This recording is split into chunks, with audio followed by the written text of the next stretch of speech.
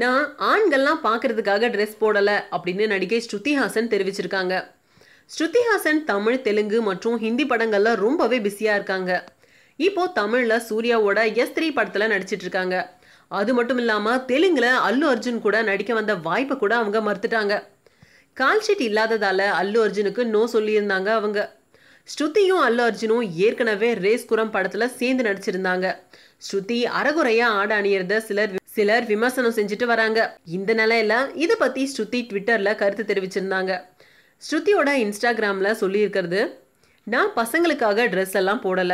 Road சைட்ல நடந்து போகும்போது ஷாப்ல இருக்க ஜன்னல்ல தெரியிற என்னோட பிரதிபலிப்பை பார்க்கறதுக்காக தான் நான் ட்ரெஸ் போடுறேன். அப்படின்னு அதுல தெரிவிச்சிருந்தாங்க.